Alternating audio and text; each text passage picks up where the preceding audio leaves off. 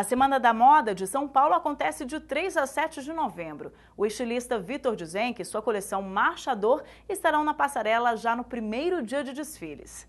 O Cavalo Sem Fronteiras se prepara para desembarcar na iluminada Las Vegas, onde foi convidado para participar da final do maior evento de montaria em touros do mundo, o PBR.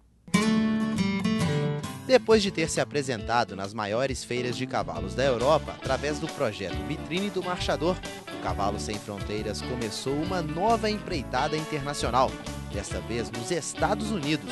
No começo de setembro, cavalos da raça se apresentaram duas vezes na etapa de Nashville do Professional Bull Riders, o PBR, considerado o maior torneio de montaria em touros do mundo. Mercado americano é um dos mercados, maiores mercados de cavalo de sela para lazer e passeio. Né? E o foco é muito importante. Nós temos hoje uma restrição sanitária muito grande quanto ao assunto é, de carrapato, mas a intenção nossa é ir através, levar a genética para lá através de semi-congelado e embrião congelado. Esse é o trabalho que nós estamos desenvolvendo é, com maior ênfase agora. Né? Apesar que pode também ir animais selecionados, né? Animais vivos podem ser levados para lá. Mas a ideia nossa é realmente fazer parceria com americanos que estão querendo criar uma galarga machador através do semi-congelado e embrião congelado. A ação promovida pelo projeto Brazilian Saddle Horse vai se estender também na final do PBR, que irá acontecer entre os dias 22 e 26 de outubro. Os manga larga marchadores serão apresentados nos dias de abertura e de encerramento, na arena principal do evento, durante os intervalos das montarias. Também haverá demonstrações de animais da raça no espaço Fanzone, onde os visitantes do evento poderão conhecer as características da raça.